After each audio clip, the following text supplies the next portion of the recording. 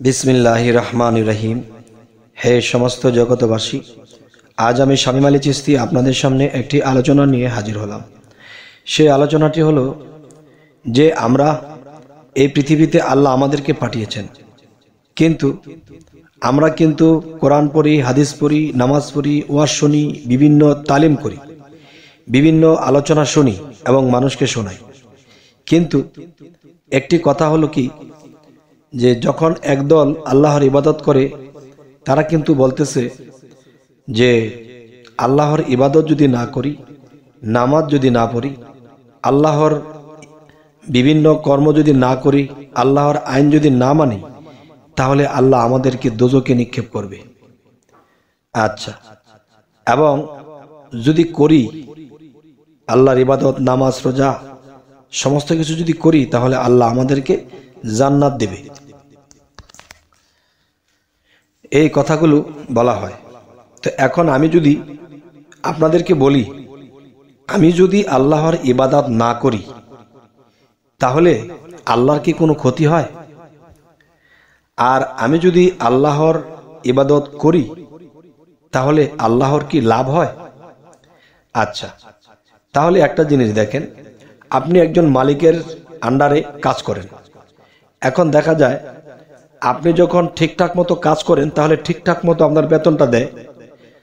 আর যদি ঠিকঠাক মতো কাজ না করেন, বেতন তো দিবে না, বরঞ্চ মালিকের আরও লস হয়ে যাবে।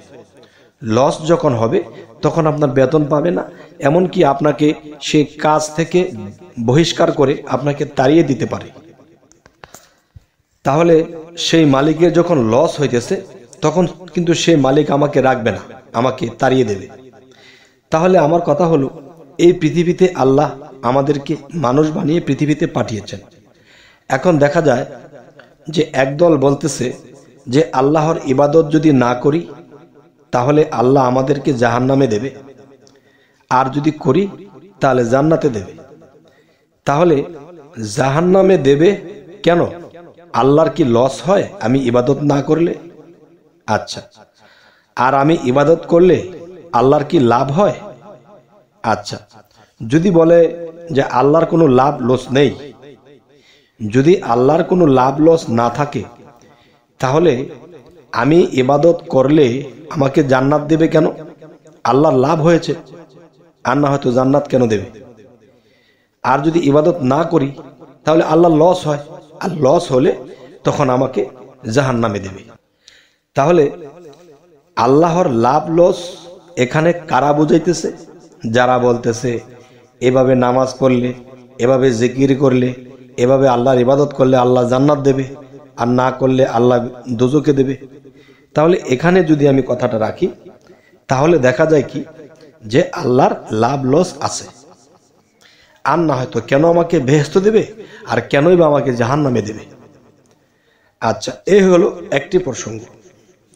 আর আর যাদেরকে নিয়ে কথাটি বলেছি, তারা শরীয়তের কেউ তাবলিক করে, কেউ মুসল্লিগণ নামাজ পড়ে। আল্লাহর ইবাদত করে, হজ করে, জাকাত দেয়। আচ্ছা তাহলে এবার যদি আসি যে যারা এই পৃথিবীতে আল্লাহর সাধনা করে, তারা একটা কথা বলে যে, হে আল্লাহ, আমি আমার দেহ আত্মার মধ্যে সাধনা করতেছি যে একমাত্র তুমি এই পৃথিবীর এবং এই সমস্ত বিশ্বময় সমস্ত সৃষ্টির মালিক তুমি। এখন আমি যে একজন মানুষ, আমার মালিকও তুমি। এখন মালিককে সন্তুষ্ট করব। কেন? যে আল্লাহ এই সমগ্র সৃষ্টি জগৎকে যখন সৃষ্টি করলেন, কেন করেছিলেন? যে পৃথিবীতে প্রাণী জগতের মধ্যে মানুষ সর্বশ্রেষ্ঠ হবে, জিন এবং ইনসান। এরা আমার ইবাদত করবে, আমাকে ভালোবাসবে। তো আমি ভালোবাসা পাওয়ার জন্য আমি এই সৃষ্টি জগৎকে সৃষ্টি করলাম।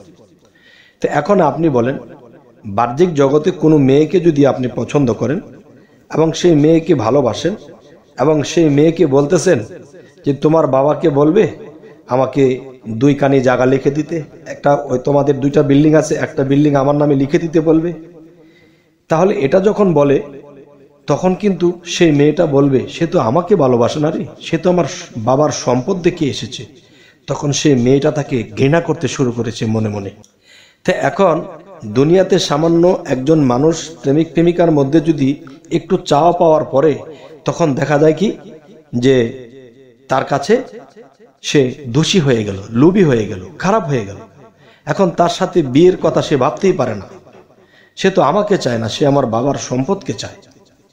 আচ্ছা তাহলে আমরা এক উক্ত নামাজ পড়েছি, দুই উক্ত নামাজ পড়েছি, তখন কিন্তু আল্লাহকে মনাদাত করে বলছি, আল্লাহ তুমি এটা দাও, সেটা দাও, আল্লাহ তোমার জান্নাত দিয়ে দাও, আল্লাহ তোমার দোজক থেকে তুমি বাঁচাও। তাহলে বোঝা গেল, জান্নাতের লোভে এবং বেহেস্ত পাইবার জন্যে এবং জাহান্নাম থেকে বাঁচার জন্যে আল্লাহকে ডাকি। মূলত আল্লাহর প্রেমে আল্লাহকে চাই না।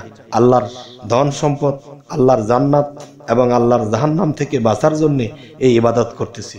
আসলে মূলত এটা কোনো ইবাদতের মধ্যে পড়ে না। ইবাদত কি? যে আল্লাহর প্রেম যা করলে আল্লাহ খুশি হবে, সন্তুষ্ট হবে, আল্লাহর বান্দা থেকে একদিন আল্লাহ আমাকে বন্ধু বলে ডাক দেবে, আল্লাহর বুকে আমাকে জড়িয়ে নেবে। সে সারা জীবন আমাকে পাইতে আমল করল, সাধনা করল, সে আমার কাছে কোনো দিন কোনো কিছু চায়নি, শুধু আমি আল্লাহকেই চেয়েছে। কিন্তু আল্লাহকে একদিন পেয়েছে। তাহলে আমরা কি চাইতেছি? আল্লাহ আমাদেরকে এটা সেটা দেবে। তাহলে আল্লাহর কাছে রেজেক্ট হয়ে আছি আমরা।